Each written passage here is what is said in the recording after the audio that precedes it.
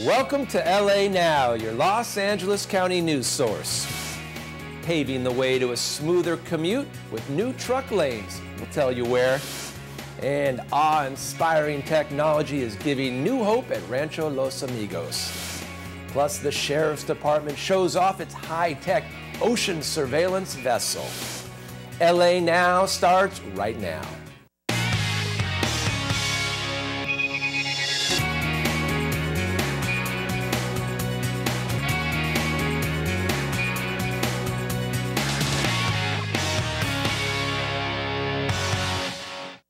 And thank you for joining us. I'm Mike Deneau. Traffic relief is heading to the Newhall Pass. One. Supervisor Michael D. Antonovich was on hand for the recent groundbreaking of truck lanes through the Newhall Pass to Santa Clarita.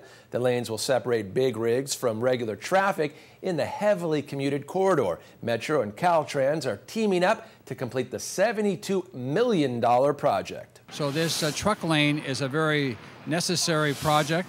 It's a 20 more, 24 month construction project. And as a result of this, it's going to help alleviate a lot of the congestion and the smog that these trucks were creating. And that project will be completed by 2014. The LA County Sheriff's Department not only has the most advanced and state-of-the-art machinery on land, they also have it by sea. Introducing the Ocean Rescue 2. Docked in Long Beach, the Sheriff Ocean Rescue 2 has been patrolling and protecting our coast since 2007. This 56 foot multi mission bad boy does what most vessels only dream of. It has a, a nuclear radiation detection uh, capability, uh, and we partner up with our hazmat detail. Uh, they actually run the uh, computer systems that analyzes everything. They can not just not only tell you that there's a radiation source nearby, they can tell you exactly what that radio radiation source is. Depending on the mission, the Rescue 2 primarily partners with other local law enforcement agencies, and it's always staffed with a minimum of three deputy sheriffs who are all certified paramedics. It also has full uh, navigation capability where we can take it out in any weather, uh, darkness, fog, zero visibility, and we can get from here to Catalina to the outer islands with it. And to give these guys eyes below the water, they have this ROV or remote operating vehicle with a camera aboard. This thing can go down up to 1,700 feet.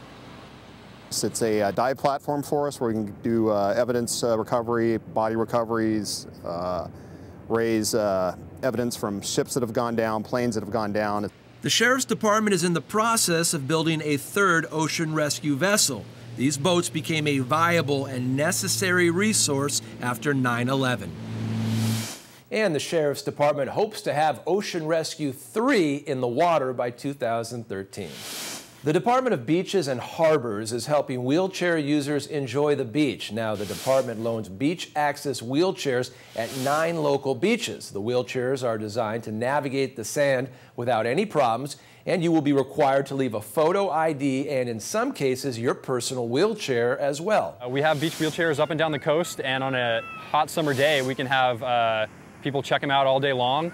Uh, on average, two to three times a week, but in hot summer days, they, we can have people checking them out every, on a daily basis.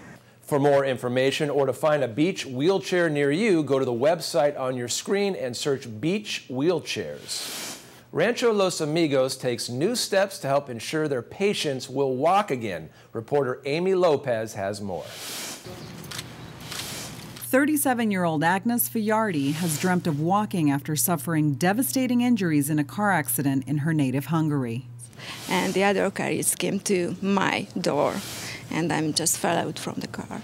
She sustained a spinal cord injury that left her paralyzed from the waist down, yet she remained determined to walk again.